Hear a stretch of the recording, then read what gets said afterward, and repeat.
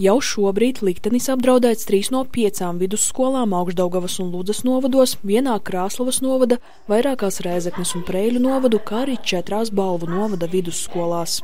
Viļaka, Rekova, Baltinova, Rugoji, Korsava, Zilupe, Agluna, Špoģi, Kaunata, Dricāni, Nautrāni.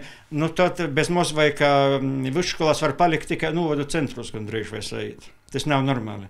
60 nevarēs neko arī īstenot. Jā. Ņemot vērā to, ka tiešām nu, tie lauku vide tīk šobrīd dažādos veidos tīk nu, nicinoti, var sacīt, pustiet orā.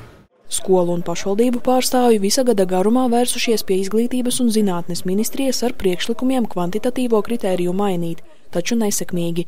Ministrijas ieskatā vismaz 60 skolēniem jābūt katrā vidusskolā visā valsts teritorijā. Lai vidējā posmā spētu piedāvāt um, plašāku, padziļināto kursu izvēli un to spētu pilnībā nosekt uh, valsts finansējums, ir jābūt ne mazāk kā 20 bērniem klasē.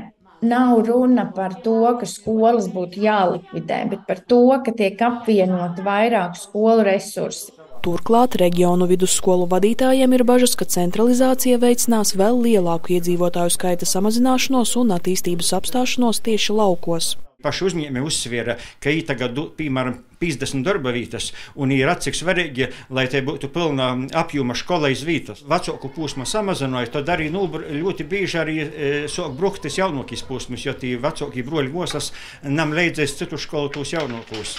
Izglītības un zinātnes ministrija gan bilst, ka pierobežā pašvaldības pašas varēs noteikt skolēnu skaitu vismaz pamatskolas posmā, bet vidusskolā trīs gadu griezumā pieļaujama aptuveni 10% svārstība. Šobrīd politiski šobrīd 60 skolēnu skaits vidējā posmā šobrīd ir diezgan stabili. Tas, kas vēl ir jāspēj izdarīt pašvaldībām, protams, ir, ir gan puda salas vēl jāpēta, lai izrunātu arī ar, protams, vietējo kopienu. Daudz mūsu Latgolas pīrobežas skolu absolventi īt vojcos pēc tam Rūbežsardzes koledžā.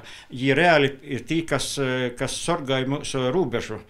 Tas ir, tas ir valsts drošības, tas ir ģeopolitikas jautājums. Atsevišķu finanšu programmu Eiropas Savienības ārējās robežas pašvaldību un skolu atbalstam iecerēts izveidot līdz nākamā gada 31. martam.